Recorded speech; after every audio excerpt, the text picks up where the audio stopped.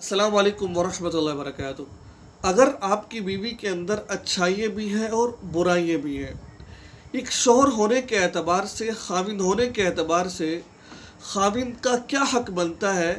अपनी बीवी की कौन सी बुराइयों को माफ़ कर दे और कौन सी बुराइयों पर पकड़ करे?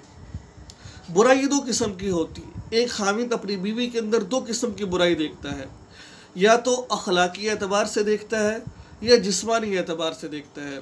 जिस्मानी एतबार से मतलब उसकी बीवी ज़्यादा मोटी है, या उसकी बीवी कद की छोटी है, या उसकी बीवी रंग की काली है, या अखलाकी एतबार से एतबार से। अखलाकी एतबार से क्या होता है?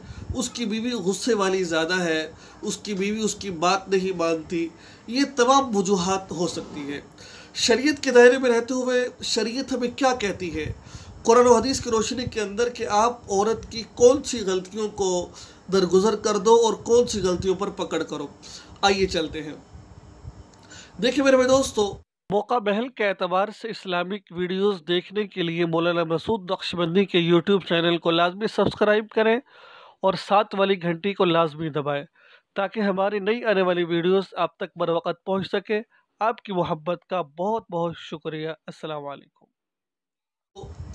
हमारे एक बुज़ुर्ग को एक मकूला मशहूर है। बुज़ुर्गों का एक मकूला, जो सियाणे हैं, वो एक बात कह कर गए हैं। वो कहते हैं कि बीवी दूसरे की और बच्चे अपने अच्छे लगते हैं। ठीक है? बीवी दूसरे की, बच्चे अपने अच्छे लगते हैं। इसका रीज़न क्या है इसका? इसका रीज़न ये है कि हम लोग बदनज़री करते हैं। जिस बदनज़री के नतीजे के अंदर हमें अपनी बीवी से नफ़रत हो जाती है। बच्चे तो अपने अच्छे लगते हैं, लेकिन बीवी अपनी अच्छी नहीं लगती। उस बीवी के अंदर जो चाँद जैसी बीवी घर में मौजूद है, उस बीवी के अंदर हम हज़ारों खामियाँ देखते हैं। मिसाल के तौर पर अगर आपकी बीवी में वाक़ता खामियाँ मौजूद हैं तो इसके बारे में शरीयत क्या कहती है? हज़रत उमर फ़ारूक रज़ी अल्लाह तु के बारे में आता है। आप अंदाज़ा लगाए कितने बड़े सहाबी हैं, कितने जलील कदर सहाबी है ठीक है? जिनको देखकर शैतान भाग जाया करता था, जिनका दबदबा इतना था कि कुफ़ार हजर उमर के सामने नहीं आया करते थे। इतने बड़ी शख्सियत अमीरमिन थे। इनके पास एक शख्स आता है, अपनी बीवी की शिकायत लगाने के लिए। जब दरवाजे पर पहुँचता है तो क्या देखता है? देखता यह है कि अंदर से आवाज़ आ रही है हज़रत उमर की बीवी। खलीफा सानी अमीर अमीरमिन है। हज़रत उमर फ़ारूक, जिनके आने से दीन को कुत मिली, उनसे बड़ा हम नहीं हो सकते। उनकी बीवी उनसे झगड़ रही है। वो शख्स कहने लगा कि मैं तो अपनी बीवी की शिकायत लगाने के लिए आया था, लेकिन हज़रत उमर की बीवी हज़रत उमर से झगड़ रही है, वो पीछे जाने लगता है। जब वो दरवाजे से पीछे हटता है तो हज़रत उमर रज़ी अल्लाह उसको देख लेते हैं।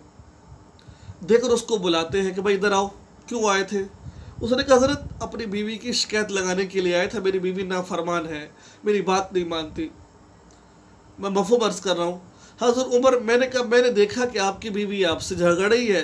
मैंने कहा, जब आपकी बीवी आपके कंट्रोल में नहीं है तो फिर आप मेरा फैसला क्या करेंगे? उस वक़्त जो हज़रत उमर फ़ारूक रज़ी अल्लाह ने जवाब दिया ना, अगर आज का मर्द इसको अपने पल्ले में बाँध ले, इसको अपने जहन में बिठा ले तो यकीन माने घर के अंदर लड़ाई घर के अंदर लड़ाई झगड़े हो ही ना। आज क्या होता है? आज मर्द कहता है कि मैंने अपनी बीवी को ठीक कर देना है। मैं तो तुम्हें सीधा कर दूँगा, मैं तुम्हें। मेरी बात याद रखो। मेरे और आपके आका हज़रत मोहम्मद सल्लल्लाहु अलैहि वसल्लम के हदीस का मफहम है। फरमाया कि अल्लाह रब्ज़त ने औरत को टेढ़ी पसली से पैदा किया है। और ये टेढ़ी है। हदीस का मफहम है अगर तुम अपनी बीवी को सीधा करने की कोशिश करोगे तो ये सीधी नहीं होगी, टूट तो जैसे केला केला टेढ़ा होता है। अगर तुम उसको सीधा करोगे केला टूट तो जाएगा, लेकिन वो केला सीधा नहीं हो सकेगा। इस तरीके से अल्लाह नबी ने फरमाया, जैसे है तुम इसके साथ वैसे गुजारा करो इसके साथ वैसे। कुरान पाक के अंदर आता है फ़ैन कर तुम हन्ना फ़ासा अंत करहू शई वजाल्ला फ़ी खैरन अल्लाह रबुल्ज़त फरमा रहे हैं। कुरान पाक की आयत मुबारक है। फ़ैन करे तुम हन्ना अगर तुम अपनी बीवियों को नापसंद करते हो। तुम्हें अपनी बीवी अच्छी नहीं लगती, तुम उनको नापसंद करते हो। फ़ासा अन तक रहो शैया कोशिश करो, ठीक है ना? कोशिश करो उनका अच्छी ज़िंदगी गुजारने की। फ़ासा अन तक रहो शैया वह जाफ़ी खैर कसीरा। फिर भी उनका अच्छी ज़िंदगी गुजारो। क्यों? हो सकता है कि उसमें भलाई पैदा हो। आयत का मफू वर्ज कर रहा हूँ, हो सकता है कि उसके अंदर कोई भलाई हो। अगर तुम्हारी बीवी रंग की काली है, छोटे कद वाली है, या आपके मिजाज के थोड़ा सा हटकर है तो कुरान कहता है, हो सकता है उसमें कोई भलाई हो। अब आपको आप कहें, कोई कैसी भलाई हो?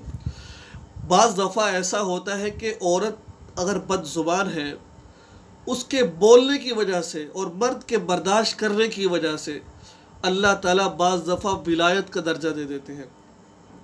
एक बुज़ुर्ग के पास एक शख्स गया ना, बुज़ुर्ग थे, जब गया तो हुजरे में देखा, आवाज़ आ रही थी उनकी बीवी उनको गालियाँ, बुरा भला कह रही थी।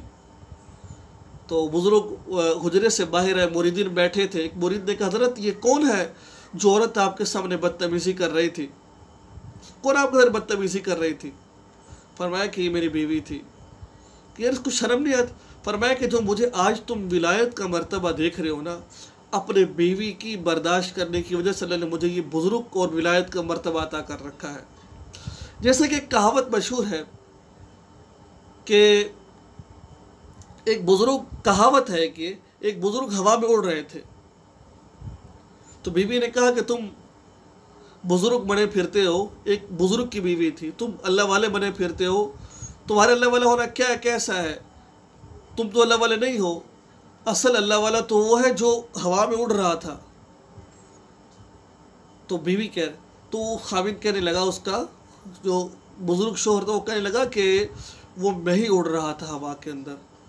तो बीवी ने क्या कहा, इसलिए तुम टेढ़े मेढ़े होकर उड़ रहे थे। तो औरत का मिजाज है ये। अगर तुम इसको सीधा करिए, सीधा नहीं होगी।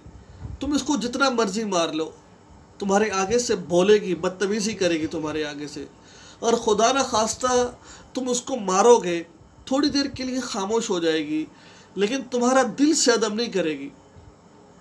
ठीक है? वक्ती तौर पर तुम्हारे सामने जी हाँ कर देगी, लेकिन ऐसा नहीं होगा। तो अल्लाह के नबी कुरान पाक में क्या इरशाद फरमाया? अगर तुम्हारी बीवी नाफरमान है, कुछ ऐसा कोई मसला है तो कोशिश करो ज़िंदगी निभा करने की। हो सकता है कि उसमें कोई ऐसी औला अल्लाह ताला उसकी वजह से तुम्हें मर्तबा अता कर दे। हो सकता है कि उसमें कोई ऐसी औलाद पैदा हो जाए, जो औलाद तुम्हारी निजात का ज़रिया बन जाए। फ़ासान तक रहो शैया वजाल्लाफ़ी खैरन कतीरा कोई ऐसी औलाद पैदा हो जाए जिस औलाद की वजह से तुम्हारे बेड़े ही पार हो जाए तुम्हारे लिए निजात का ज़रिया बन जाए और वो घर में आए तुम्हारे घर में चार चाँद लग जाए हो सकता है ऐसा भी हो सकता है ऐसा होता है कुरान जो कह रहा है। तो मेरे भाई दोस्तों, बुज़ुर्गों, कोशिश कीजिए मोहब्बत की फ़िज़ा कायम करने की। हाजिर उमर कहने लगे कि भाई, जो तुम मुझे देख रहे हो ना, कि मेरी बीवी मुझसे लड़ रही थी, मेरे आगे से बोल रही थी और मैं खामोशी सुन रहा था, मेरी बीवी के मुझ पर बहुत एहसान है। मेरी बीवी के मुझ पर बहुत एहसान है। देखो ना, मेरी बीवी मेरा धोबी भी है, मेरे कपड़े इस्त्री करता है। मेरे कपड़े धोता है, मेरे कपड़े तैयार करके मुझे देता है, मेरा धोबी भी मेरे बीवी, मेरा बिस्तर।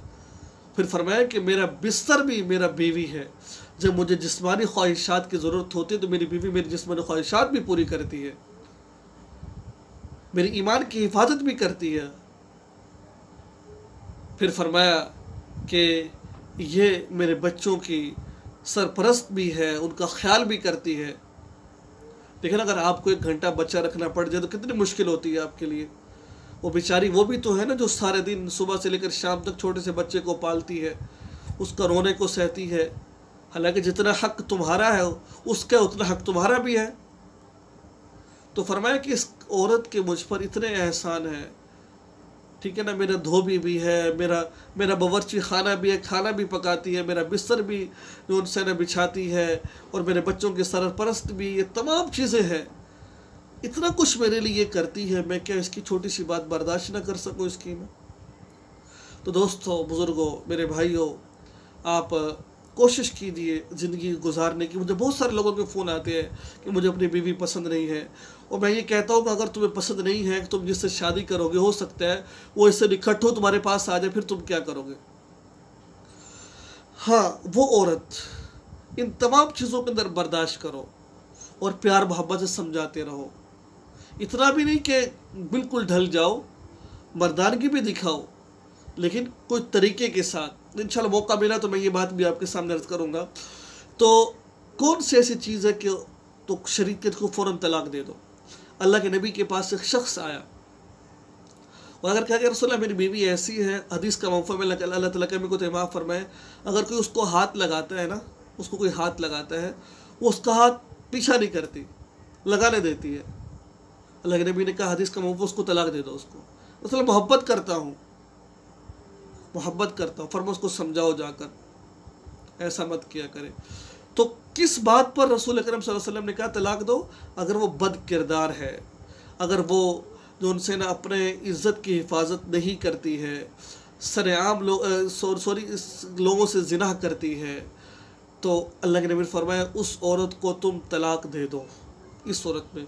वरना इवन कि अगर कोई भी उसके अंदर बुराई है, इसके अलावा बदतमीज़ है, आगे से बोलती तो प्यार मोहब्बत से समझाओ उसको।